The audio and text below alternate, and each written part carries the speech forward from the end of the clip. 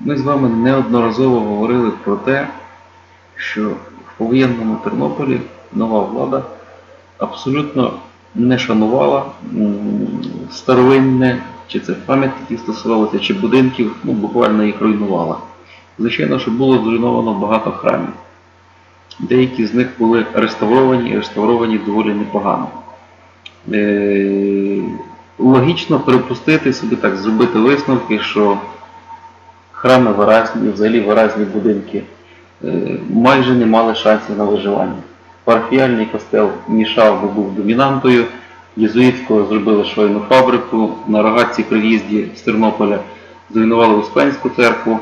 І в мене виникає бажання, як уже в такому оновленому радянському морально і фізично, ну так, зовні місті могла бути відбудована катедра.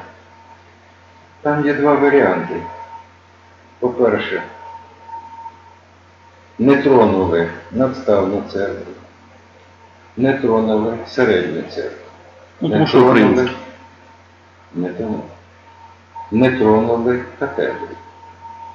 Явно польську. Хоча домініканів. Явно польську.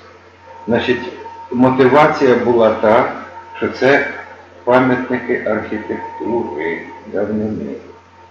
А ці не вважались.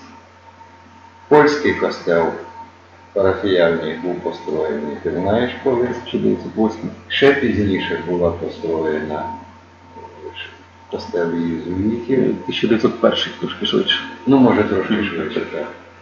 Значить, костели єзуїтів і полю. Це були відносно не старі. Відносно. Зараз вони вже, да, то старовина, сила старовина. От, а тоді то Але невже, на початку століття построїли, розумієш? але невже в час, коли руйнувалося все з одним помахом руки, катедра, яку видно ну, з головної сторони з в'їзду від Львова, яка муляла очі чи не зі всіх сторін лишили. Як це можливо? Ні, ти знаєш, катедра була нижче, ніж костюм парафіяльний. Ні, безперечно, але. Парафіяльне з озерною було видно. Безперечно, але очі, Яскраву погоду. але очі то муляло. Не знаю, от от лишилось чомусь. І ще й такі колосальні гроші пояснити. в розбитому місті. Не можу пояснити. Не можу пояснити чому. Абсолютно не можу. Даже годинник зняли і намагалися реставрувати. Годинник? Я пам'ятаю, да. Зняли і намагалися.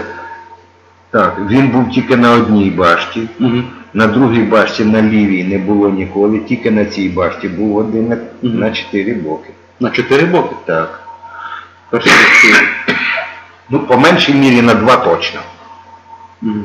На, на два точно. На- Я зараз сказав і засумнівався. На, на два боки був точно годинник. Цікаво. Це я точно пам'ятаю. Та подивись старі фотографії зараз Ні, ні, я пам'ятаю, але я бачив тільки звідси.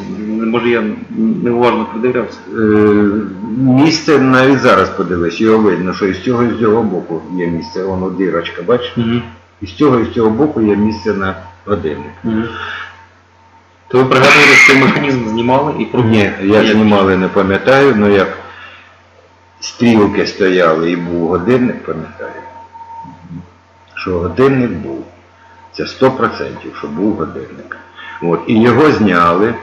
От, я, між іншим, е, дарма ж, може, я розказую, тобі тяжко буде вирізати, що в описаннях своїх теж привожу цей момент.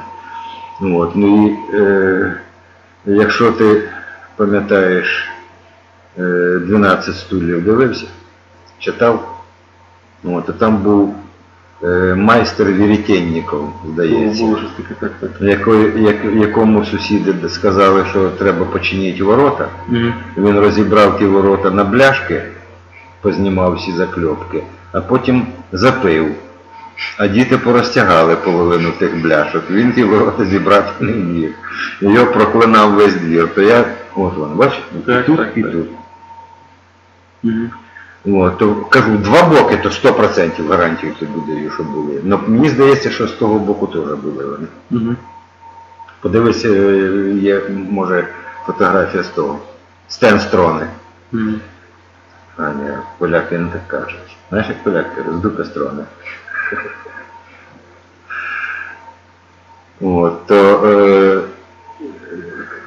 той годинник зняли, якийсь майстер, я пам'ятаю, що ми, так як на пам'ятник той самий, то так само збирали макулатуру на той годинник. Так, нам в школі на пам'ятник Кушелінський, металолом макулатуру ми збирали, то було і на годинник. От ось знизу, бачиш, то дирка. Мгм. То, явно з е, кришки ти знімаєш. Годинник на 4 боки на кожній башті був. Так. Але на той, в тій башті годинника взагалі не було. Мгм. Що варіант може бути? Варіант може бути такий, що той годинник був знищений в 39-му. Коли були збиті ці дві вежі. Мгм. Розумієш? Бо тут я чітко пам'ятаю годинник, там я не пам'ятаю. От. Ну і кажу, той майстер тоді збирали ті гроші, і не, не гроші, а давали металолом макулатуру. Так воно кануло в літу, так того годинника ніхто і не побачив. Мгм. От. Ну і я от коли про цей тернопільський годинник пишу, Мгм. значить не було тут годинника. Мгм. Тільки тут. Тільки тут. Коли я пишу про той годинник, стоп, це, це 39-й рік? це після 39 року. Скинь мені. Бо мене О, там такого дуже нема. багато, там зараз все перейшли. У мене такого нема. Так, так, там дуже багато фотографій. От, так слухай. Е, так той годинник і не появився, так само, як і пам'ятник Крушельницький. Діти збирали, збирали, куди ті гроші пішли? Фіг його. Тобто за Союзу говорили про те, що пам'ятник Крушельницький Да. за Союзу. Цікаво. Я, я не чув просто. Та я ще піонером був. Ми ще збирали металолом макулатуру, я ще в школі вчився. Мгм. То 60-ті роки. Стояло питання про побудову пам'ятника Крушельницький. Не знав. Тоді вперше його підняли це питання. Після її смерті. Розумієш? Вона в 59-му чи От кажу, після її смерті, десь в 60-х роках вперше піднялося це питання. Правда, ми не знали того, що совєтська власть фактично вкрала всю маєтність її. Ти знаєш це чи ні? Я настільки детально не досліджував. Ну, я, я, можу, я можу тобі розказати, бо я Мгм. цікавився тим питанням. Вся маєтність, яку вона мала, вона в Італії мала величезну, вона там заміж вийшла. Ну, За італійця була дуже заможньою, величезні будинки мала, декілька причому. Мгм. Ті всі будинки, коли вона приїхала, взяла підданство Радянського Союзу, лишилися у Львові. Їй 3 чи 4 роки не давали можливість працювати. Мгм.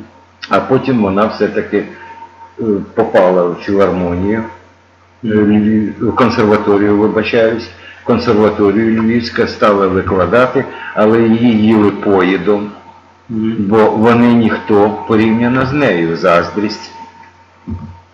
Ну, самий страшний звір, знаєш, який на Україні? Заздрість. Не, жаба. Заздрість то не звір. От, Жаба жаба то самий страшний звір на Україні. Так от жаба всіх давила, що світова знаменитість, і от вона поруч з ними працює, то її їли поїдом.